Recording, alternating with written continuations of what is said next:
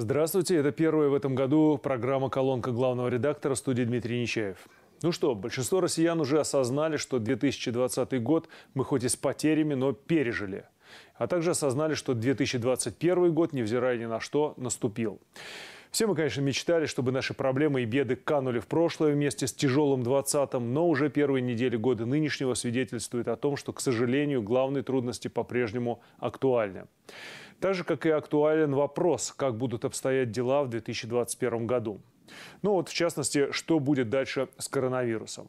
Будет ли он продолжать распространяться? Какими темпами? Понятно, что точных ответов на это не может дать никто, так как на это влияет множество самых разных факторов среди которых, например, принимаемые властями решения, направленные на борьбу с заболеванием и готовность общества следовать предписаниям. Мы же помним, как в Китае благодаря жестким мерам и их неукоснительному соблюдению уже удалось добиться значительного спада, даже почти полной ликвидации болезни. И вот сейчас мы знаем, там выявлены новые случаи, но это менее 300 заболевших на всю огромную страну. И тут же вновь там принимают очень строгие меры изоляции. Но самое главное, что граждане им следуют. А вот в ряде стран Европы, как мы помним, были приняты меры слишком поздно, что спровоцировало вспышку и стремительное распространение заболевания. Еще один фактор, что касается скорости распространения болезни. Так вот, Всемирная организация здравоохранения считает, что передача в крупных мировых мегаполисах осуществляется прогрессией 1 к 100. То есть один больной заражает до 100 здоровых. Такая контагиозность обусловливается высокой плотностью населения в больших городах и неизбежностью тесных контактов между жителями. Это понятно. Но российские эпидемиологи полагают, что интенсивность распространения все-таки не превышает э, степени 1 к 22. Еще одно важное обстоятельство – это склонность вируса к мутациям. Сейчас уже установлено, что появились новые формы этого вируса.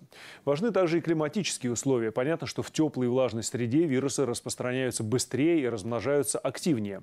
А вот перепады температур воздуха и прочие резкие изменения погоды неизбежно подрывают иммунитет людей, как вот сейчас, например, смена морозной погоды на теплую. Так что риски заражения могут увеличиваться, например, в межсезонье. Важны также профилактические меры. Порой профилактика становится самым действенным способом предупреждения распространения заболевания. Да и самым лучшим. Понятно, что не заразиться лучше, чем переболеть.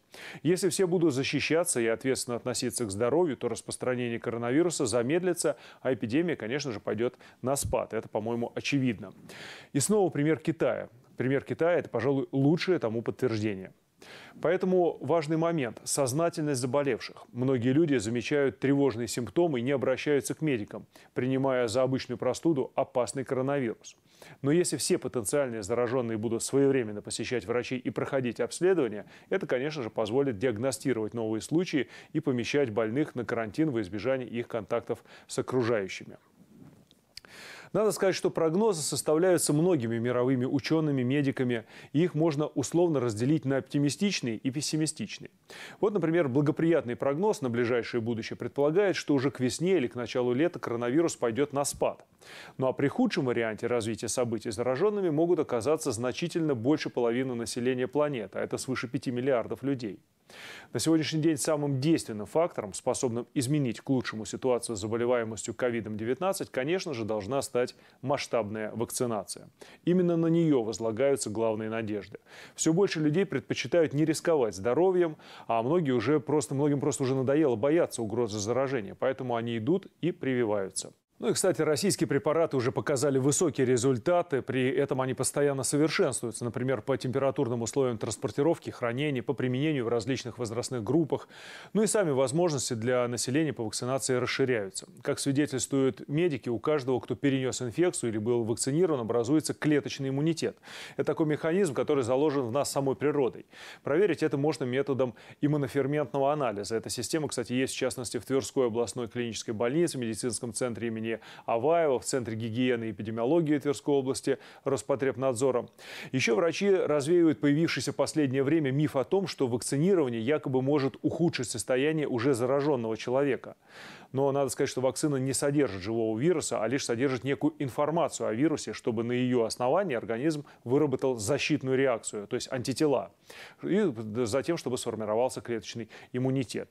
А вот когда уже живой вирус попадет в организм, наша иммунная система реагирует гораздо быстрее, не дожидаясь, когда разовьется инфекционный процесс. Но ну, а вот что действительно важно, так это то, что даже в случае с вакцинацией меры безопасности все равно нужно и придется продолжать соблюдать, чтобы у человека успел сформироваться этот самый иммунитет, на что уходит, как говорят медики, 42 дня. Так что если вы уже осознали степень угрозы заразиться и решили не испытывать судьбу, то записывайтесь на вакцинацию. Как раз сейчас Минздрав Тверской области расширяет запись на прививку от ковида. Это можно сделать по телефону 122. Также очень скоро появится возможность записаться через портал госуслуг. Такой способ, кстати, позволит миновать регистратуру и прийти сразу на прием.